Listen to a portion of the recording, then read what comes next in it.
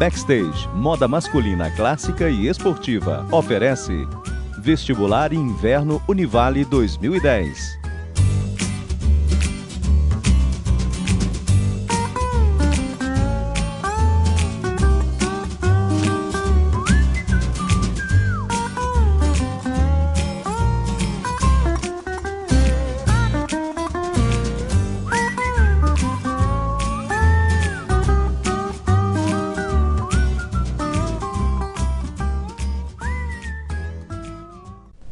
Olá, no programa do Univale Vestibular de Inverno de hoje, nós vamos conhecer um pouco sobre o curso de Sistema de Informação. Tem aqui alguns alunos do curso, egressos também, e os professores, dois professores do curso, que vão apresentar também um pouco desse panorama do que é o curso de Sistema de Informação. Eu quero começar com o professor Geraldo. Professor, quem é esse profissional? O profissional que se forma em Sistema de Informação, é, é, quem é esse profissional? É um profissional que está assim, apto a trabalhar em várias áreas né, do mercado de trabalho. Mas é aquele profissional que a gente conhece como analista de sistemas, né, que está apto a desenvolver, a analisar sistemas. E ele pode trabalhar também em outras áreas, né? trabalhar também como programador dentro das empresas, desenvolvendo, programando sistemas né, informatizados e trabalhando como gerente de redes em, em várias áreas afim, mas mais conhecido como aquele analista de sistemas. Mas o professor Samuel falou que tem outros nomes aí também que esse profissional recebe, né?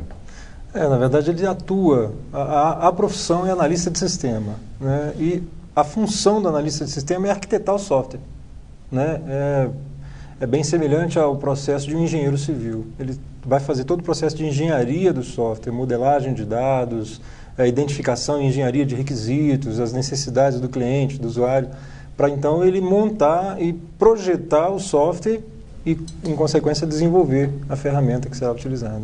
E a gente tem também, dentre os nossos alunos aqui, a gente tem dois egressos. Eu quero começar com o Vladimir de Oliveira Trindade. Eu queria que você falasse um pouco da trajetória que você foi construindo é, enquanto estava no curso, os estágios, os trabalhos e até o momento que você está hoje. Eu formei na ETIT é, e comecei a trabalhar com no, a dar aulas, depois eu comecei a trabalhar, receber a proposta a trabalhar na Univale, no laboratório de informática do próprio ETIT. Depois disso, eu iniciei o curso de sistemas de informação e eu fiz um teste para entrar como desenvolvedor de software no setor de planejamento. E antes de formar, eu passei para o setor de informática e tecnologia da Univale, na área de desenvolvimento de sistemas. E hoje eu trabalho com meus professores, o Geraldo e o Samuel. Quer dizer, você foi aluno na ITI, aluno é, é, na graduação e funcionário hoje da, da universidade. Tem sete anos que eu sou funcionário da universidade. Agora, professor Samuel, como é o acompanhamento de vocês? Porque se a gente for falar da questão da, da tecnologia, é muito mais do que isso, né? Como é acompanhar essa formação e ver também essas pessoas, esses alunos sendo é, é, é inseridos no, no, mercado? No mercado né? Absorvidos Bom, no mercado. É, todas as turmas, desde o primeiro período, elas desenvolvem projetos é, chamados projetos interdisciplinares, usando conteúdo aprendido em cada disciplina em um único projeto. Esses projetos são apresentados no final de cada semestre até o sexto período. A partir do sexto, sexto sétimo e oitavo período, os alunos desenvolvem um projeto de graduação. O acompanhamento desse, desses projetos ele é feito, cada período tem um professor que coordena o projeto, mas os demais professores também participam, se envolvem também no projeto. Uh, e o que a gente vê, na verdade, é que a cada, cada semestre tem aumentado muito o número de empresas buscando profissionais mais qualificados. Na verdade, a exigência do mercado é essa, né? profissionais qualificados nessa área. E a gente percebe uma absorção muito grande dos nossos alunos no mercado de trabalho. A gente tem aí egressos eh, em São Paulo, Rio, Brasília, quer dizer, espalhados no Brasil inteiro. E às vezes a gente participa de alguns eventos nacionais e a gente encontra, a gente já encontrou ex-alunos dando palestras nesses eventos. Quer dizer, isso para nós é, é, motivo de alegria, né, até de, de satisfação como missão, trabalho cumprido, né?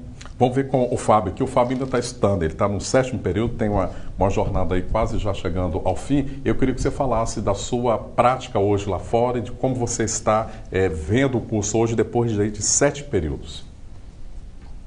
Bom, é, para minha prática hoje, para o meu desenvolvimento hoje, o curso me ajudou muito em questão de visão de, de trabalho em equipe, com os projetos que o Samuel falou mesmo, os projetos interdisciplinares, são muito produtivos e para a gente que está tá sendo inserido, que vai ser inserido no mercado, isso é muito interessante, porque te dá a oportunidade de conhecer, pelo menos assim, um pouco de como que é no mercado. O projeto não é, claro que não é um projeto de de mercado mesmo, mas dá uma visão de como que será no futuro. Então isso é muito interessante para a gente, isso é muito bom.